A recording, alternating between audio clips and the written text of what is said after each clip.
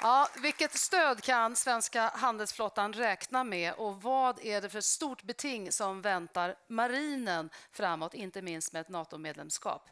Jag ber att få välkomna marinchef Eva Skog Hasslum. Välkommen!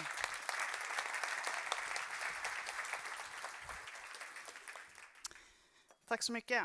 Ers kungliga höghet, konferensdeltagare.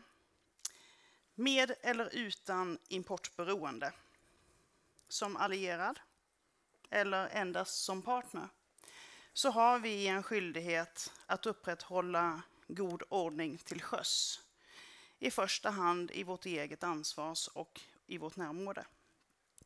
Det anger bland annat FN-stadgans eh, havsrättskonvention, UNCLOS, Convention Law of Sea. Och vi hörde Anders alldeles nyss här prata om friheten att navigera, freedom of navigation. För det här gör nämligen en god världsmedborgare. Vi, Försvarsmakten och marinen, vi lämnar inte den här planen till angriparen eller till motståndaren. Vi är där, vi är närvarande och vi är aktiva. Det finns ingen annan som kan vårt område så bra som vi. Vi har en väldigt lång kust. Det är en av Europas längsta kuster. Vi har flest öar i hela världen. Men det kräver resurser att hålla närvaro och säkerställa trygga och farbara leder. Och flöden, det är inte bara färjor och handelsfartyg. För det här gäller även de flödena som avser energi och ekonomi. De ekonomiska flödena i, till och från Sverige. Att upprätthålla säkerhet till sjöss det är absolut ingenting som Försvarsmakten ansvarar för, gemensamt, eh, för ensamt. För tillsammans med andra myndigheter som eh, Kustbevakningen, Sjöfartsverket, polis, tull med flera och med rederier, hamnar, organisationer, då bygger vi ett nätverk i vårt närområde. Och tillsammans med internationella partners, förhoppningsvis snart våra allierade, så delar vi information och resurser på daglig basis. Vi är interoperabla, vi har en hög rörlighet och flexibilitet. Och med ett medlemskap i NATO, då ökar vårt scope. Men hur ser det ut där ute till sjöss? Och låt mig beskriva bilden. Jag börjar långt borta. Vi hörde alldeles nyss om Svarta havet. Vi hör faktiskt inte normalt sett så mycket från Svarta havet. Åtminstone inte i media. Vi har hört talas om begränsningar i veteexporten och sänkningar av vissa ryska fartyg, men sen är det inte så mycket mer rapporter. Men det som händer i Svarta havet är att Ryssland begränsar eh, handelssjöfart, de trakasserar handelssjöfart, de bordar handelsfartyg och de minerar. Och rätt snart efter den fullskaliga invasionen inlett så stoppade ju då Turkiet örlogsfartyg att inlöpa i eh, Svarta havet. Så Bosporen och Dardanellerna eh, stoppade sitt inlöp då, eh, enligt Montreux. Och tack vare det så har faktiskt Ryssland förhindrats att förstärka sina styrkor sjövägen. Men det begränsar också partners och allierade att inlöpa med till exempel nu minröjningsfartyg för att röja minor in i Svarta havet och därmed kunna återskapa frihet att röra sig på havet.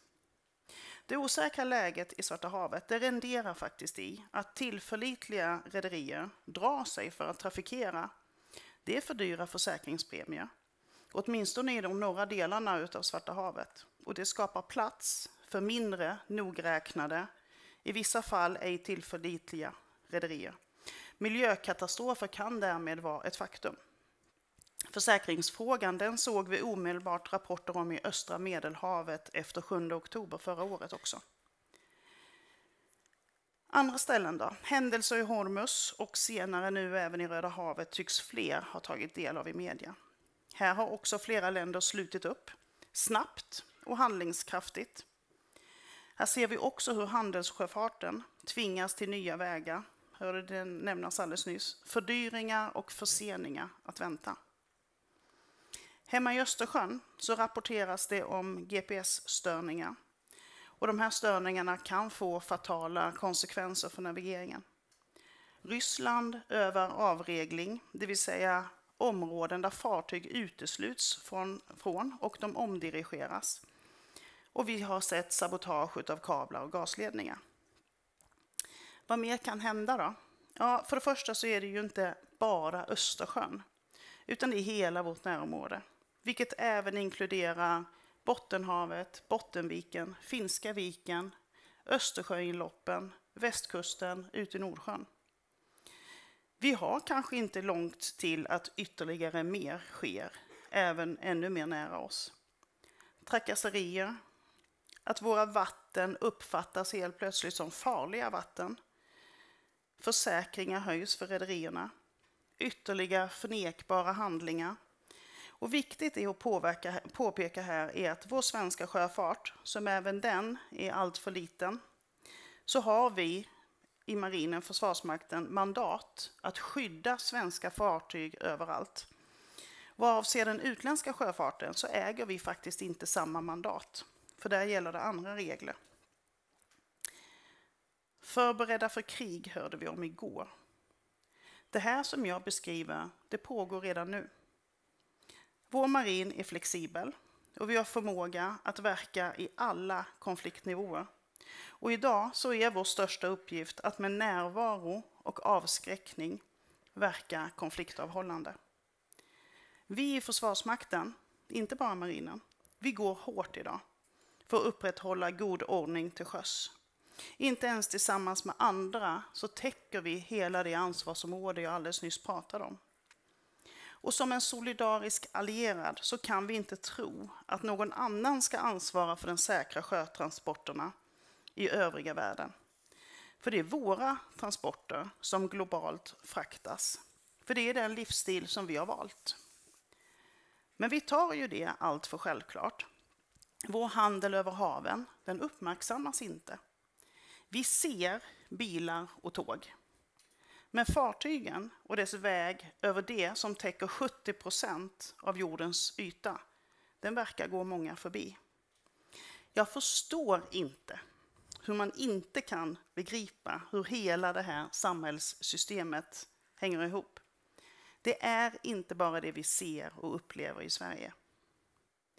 En 360 graders approach, även här så inkluderar den just våra transporter. Flera områden till sjöss är idag ifrågasatta. Jag tänker på Arktis, Sydkinesiska sjön. Och vårt ansvar som allierad är även här väldigt tydligt. Om ett fartyg misstänks ligga bakom ett sabotage så har vi alla möjligheter i världen att se till att stoppa detta. Inte då börja fundera på vad vi kan göra och vad vi får göra och vem som ska göra det. För att nämna något, något försvårande i dagens moderna miljö. Den här ANCLOS, havsrättskonventionen som jag pratade om, den är ju författad i en tid när till exempel undervattensinfrastrukturen inte var fullt så utvecklad och därmed regleras inte lika mycket där. Reserver, robusta system, det är en förutsättning för att vi kan verka nu och i en mer störd miljö. Och på tal om redundans och störd miljö så behöver de olika transportslagen såklart eh, komplettera varandra. Till exempel då järnvägar eh, eh rasar, eller vägar och, och, och järnvägar rasar, eller snöfall. Om vi hamnar i ett krig så kommer sjöfartsskyddet bli så mycket mer omfattande. Det är inte bara för Sveriges del, utan alla länder i vårt närområde kommer att vara beroende av att flöden fungerar. Såväl de civila som de militära transporterna behöver skyddas. Är vi då i fallet med den kokande grodan? Att det finns tecken och att vi ser dem möjligen, men vi åtgärdar inte i tid och helt plötsligt så är problemen så st stora så att det är så mycket svårare och så mycket mer kostsamt att hantera. Dela data, information, underrättelser. Ha en plan för hur vi agerar. Inte vänta på någon, på att någon annan tar initiativ. Och våra beslutsvägar och mandat de är ju ibland långsamma och byråkratiska. Och inte allt för sällan så hamnar vi i de här organisatoriska mellanrummen där det endera är flera på samma boll eller så är det ingen som har tittat på den bollen och alla sitter och väntar på att det är någon som tar ledartröjan. Det kan inte vara så i ett land med Sverige, som Sverige med så goda relationer till våra grannar. Och förutom det som redan har sagts i det här blocket så under de senaste dagarna Eh, har vi också pratat om det, att vi behöver bli starkare och fler och så vidare. Så behöver sjöfarten och dess behov och beroende uppmärksammas så mycket mer. Vi behöver ännu mer än idag planera och agera tillsammans. Vi behöver vara snabbare och vi behöver inneha rätt mandat. Jag är faktiskt lite tveksam till att ansvarsprincipen räcker att luta sig mot här. Jag tror att vi behöver även här ha en stark och övergripande strategi som behöver komma till vad avser hur våra, skydd, eh, våra flöden ska skyddas i gråzon, kris och krig. Den här strategin behöver fungera nationellt och med grannar och i Nato. Tack så mycket.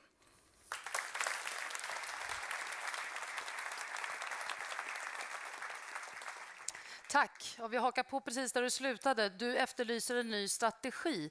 Precis Va som alla andra.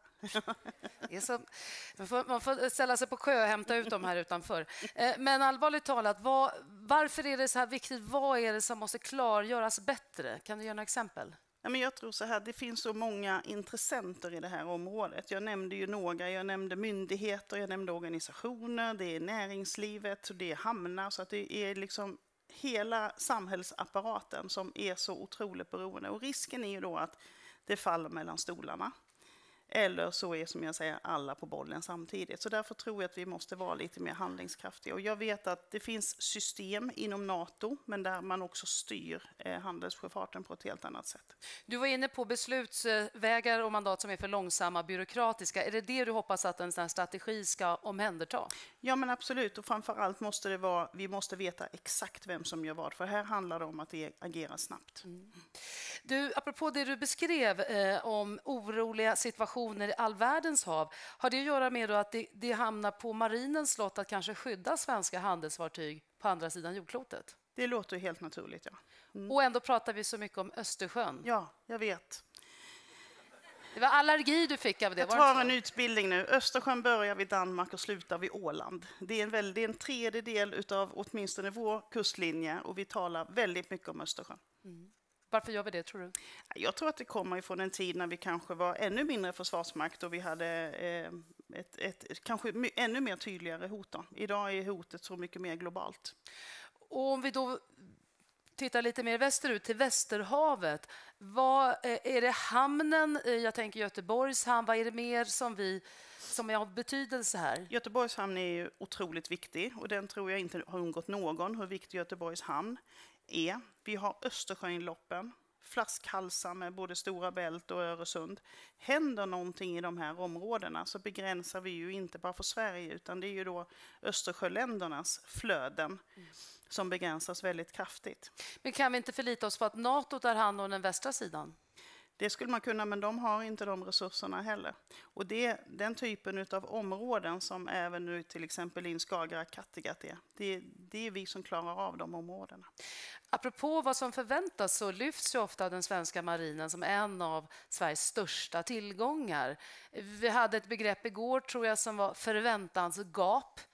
Är det något du skulle skriva under på också? Ja, men det tror jag. Och eh, det är klart, jag är jättestolt över den marinen som jag är chef över. Den är otroligt kompetent och vi, vi levererar varje dag. Bredden har vi. Vi har bredden, allt ifrån minröjning till ytstridsfartyg, amfibieförband, ubåt och så vidare. Vi har bredden. Men vi har nio ytstridsfartyg, vi har två amfibiebataljoner och vi har fyra, snart fem ubåtar. Det är en väldigt liten marin sett till kusten vi har att och, eh, hantera. Och nu ska vi dessutom bli en, som jag säger, solidarisk allierad. Ser du en konflikt också att Nato ber om något, förväntar sig något och Sverige, det svenska folket till äventyrs förväntar sig något helt annat? Kan vara. Jag vet inte, det kan jag nog inte riktigt svara på. Det enda jag, jag, jag kämpar för att vi ska få, få, eh, få mer resurser och bli större så att vi kan faktiskt både ta hand om det som händer hemma men också vara den här 360. Det som eh, känns hoppfullt är att när ni tvingas ut och samarbeta snabbt som i Nord Stream så hör vi om goda liksom, erfarenheter. Är det trots bristen på strategier eller hur skulle du beskriva det? Ja, det där är, och jag hörde ju GD Kustbevakningen prata om det här igår och jag skriver verkligen under på det. Det där är ett fantastiskt exempel på gott myndighetssamarbete. Ehm, och när jag säger jag är så otroligt stolt över den marinen jag är chef över, för att det är så, det är väldigt professionellt. Det vi saknar är ju vår uthållighet. Men som sagt, när det väl sker så är, då är Sverige som bäst. Stort tack för att Tack så mycket. Tack.